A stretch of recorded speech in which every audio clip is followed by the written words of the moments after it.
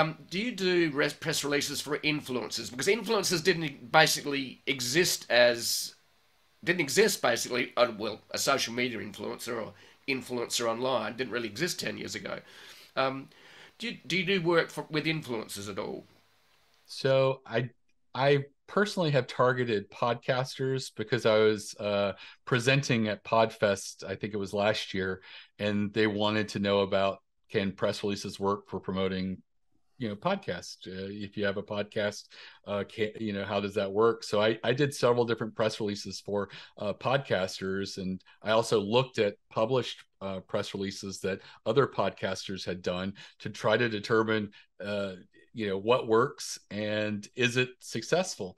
Unfortunately i found that it it really worked when you name dropped so uh, there was the pod uh, the podcaster who was uh, Donald Trump's personal attorney, uh, and he was he was doing a interview of Stormy Daniels, and that one just you know that was like another couple hundred articles about that. Everybody wrote about that, um, but you know, um, surprisingly, the podcasts that did okay were the ones that were more education minded. Um, there was some uh, on history and specifically um, historical stuff in the South, and uh, NPR and other places picked those up and and did well. But I found that without a lot of context, I think it's hard for journalists to determine is this influencer worth sharing with my audience? Because a journalist is a gatekeeper and he's trying to determine is this story entertaining enough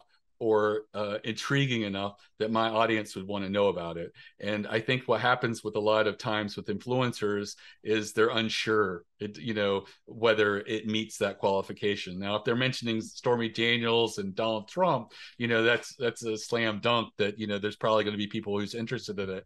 Uh, but for I think a lot of stuff, it's it's harder to say, and I think that's why the educational ones where the focus of the podcast is more about the content rather than the personality tended to do better.